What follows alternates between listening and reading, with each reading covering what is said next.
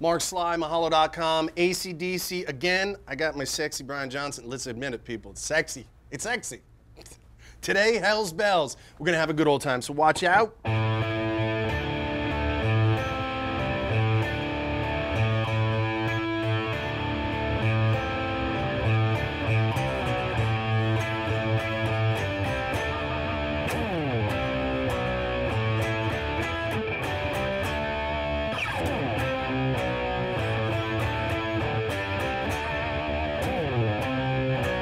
Okay, so let's uh, go right off the top, man. There's a couple parts to this song. Let's just tackle the beginning.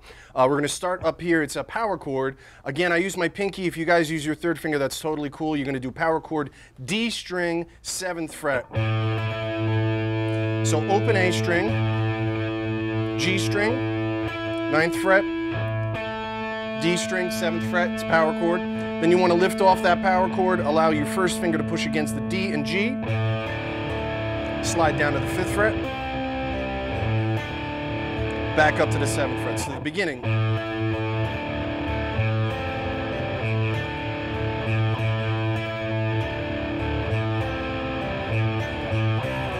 That's C, B, A power chord. Okay, cool. Next part is a, uh, when the drums kick in,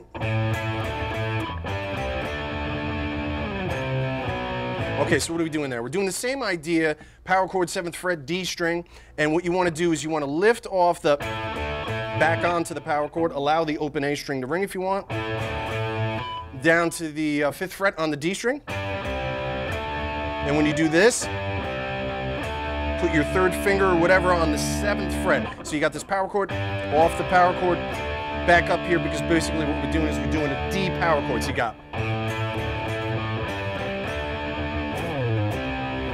Again, the C, B, A. Okay, now uh, that's the whole verse, you know, rolling thunder, pounding rain.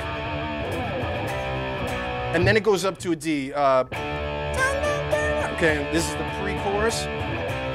So you got D power chord, you got a C, G, E. So you got E. Let's do that again. You got this a, and then what they're gonna do is, after the last time in this, do a quick G.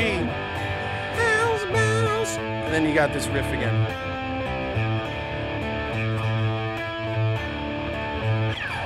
Easy ACDC, baby, Mark Sly. Make sure you rate, comment, subscribe, say what's up. love uh, working with Mahalo, want to keep rocking, so definitely say hi. And thank you guys for watching. We'll see you real soon.